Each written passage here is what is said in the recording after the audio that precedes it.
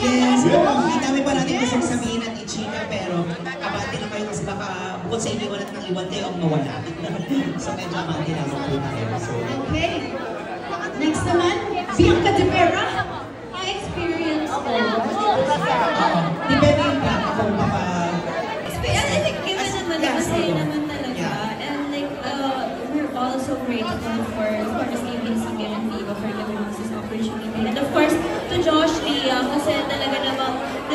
Ate, they, they really made an effort to get to know us all individually. So, ayun, it was a very, very good experience. Bongga talaga. Congratulations for their first movie, Alton Mendoza and Bianca De Vera. We're so excited to see them. Okay. Miss have Kyla. Bianca ba ito? Award winning. Yes. Kaya Estrada. Elimination lang.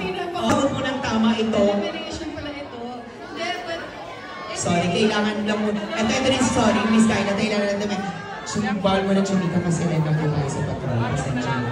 Ah, And, ayan, so, punta na po tayo doon, pero, thank you. Again, sorry sa mga ticket holders, pwede na po kayong pumasok. Pasok na po tayo, of course, sa Cinema 3, please.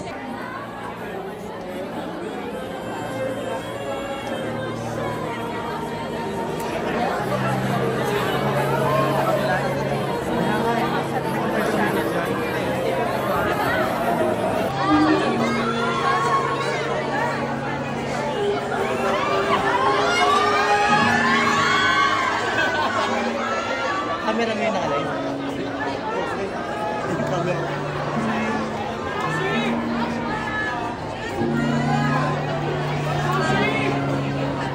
sorry po. Miss Mar.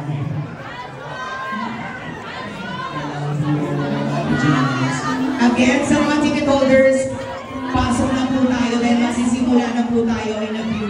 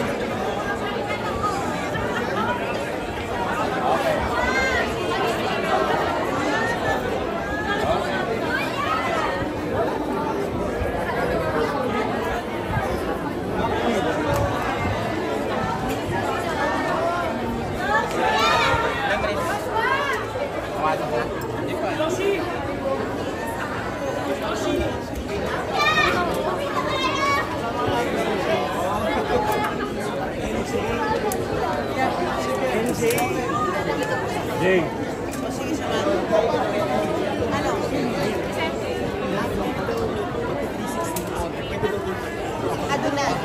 Sikat kami dito.